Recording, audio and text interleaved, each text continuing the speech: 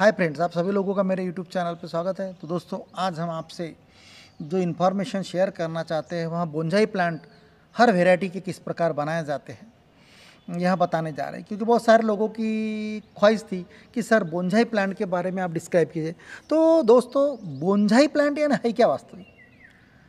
Bonsai plant उसे कहते हैं कि बहुत बड़े बड़े जैसे पौधे रहते हैं, बरगद है, बनियन है, गावा है मैंगो है जामुन है। ऐसे जो बड़े बड़े पौधे जो है, जिनका पौधा ज़मीन में लगाने के बाद में उन्हें स्पेस जगह बहुत बड़ी लगती है। लेकिन आपकी ख्वाहिश ये है कि ऐसे पौधों को आप गमलों में लगाकर क्यों ना फ्रूटिंग ले सकते हैं?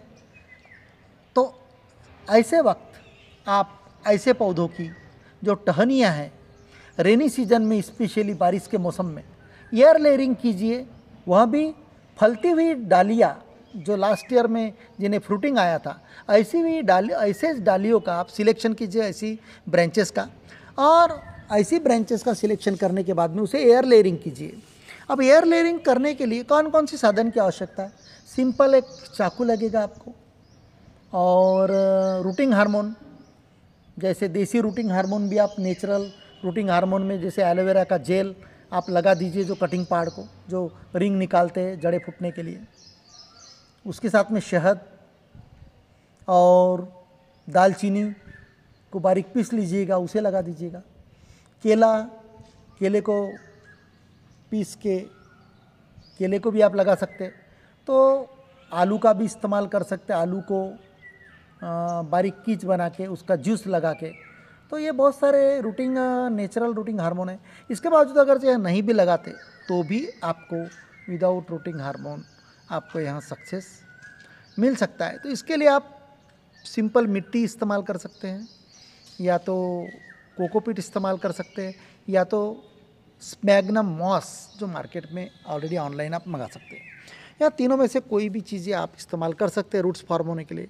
तो हर ब्रांच हर पेड़ का रूट फॉर्मेशन का जो ड्यूरेशन है पीरियड है, समय है, वह डिफरेंट है। जैसे नींबू के लिए तीस दिन, मौसम्बी के लिए तीन से चार माह, चीकू के लिए तीन से चार महीना, आम का दो से तीन महीना।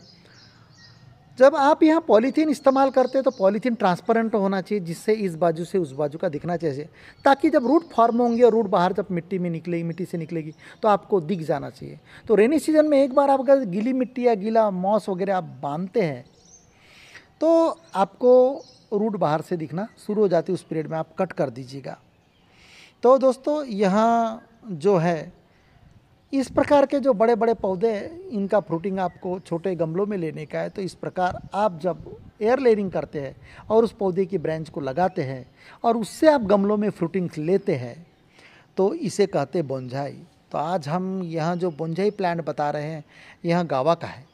तो गावा का बोनजाई प्लांट बनाने के लिए आपको मैं बता चुका हूँ कि गावा की रूटिंग फॉर्म होने के लिए लगभग दो से तीन महीना डेफिनेटली लग जाता है। तो आप इसको, मेरे ईयर लेयरिंग के मेरे वीडियोज़ है, मेरे वीडियो प्लेलिस्ट में जाइएगा यूट्यूब के और वहाँ पर air layering by Sunil Kumar Mutkure डालिएगा।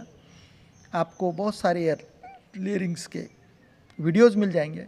और उसके बाद में एयर लेयरिंग्स के पौधों को किस प्रकार प्लांटिंग किया जाता है, वहाँ भी मैं बता चुका हूँ। उसके बाद आई एन पी का स्प्रे करते रहिए और फुटिंग आप घर में गमलों में ले सकते हैं।